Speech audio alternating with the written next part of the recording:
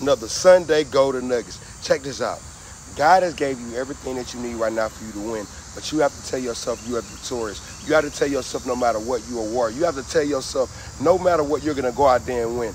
A lot of people would love to wear your crown right now because they see you growing, but they just not talking about it. They see you elevating in life, but they just not texting you about it. They see you doing a lot of great things, but you're worrying about when they're gonna tell you you're doing a good job. Stop worrying about that telling you doing a good job and you do a good job for yourself.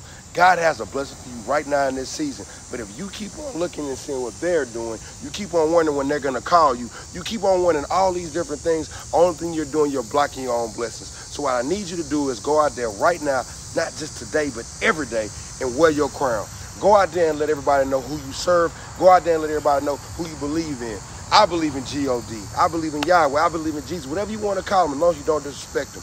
Make 2024 one of your best seasons yet by giving God all the grace and going out there and being the warrior, being the strong woman of God, man of God you are. Remember, you only have one life to live. It's time for you to do it right now. Go out there and wear your crown. But you already know how every video goes. Say his name. God. Let's go.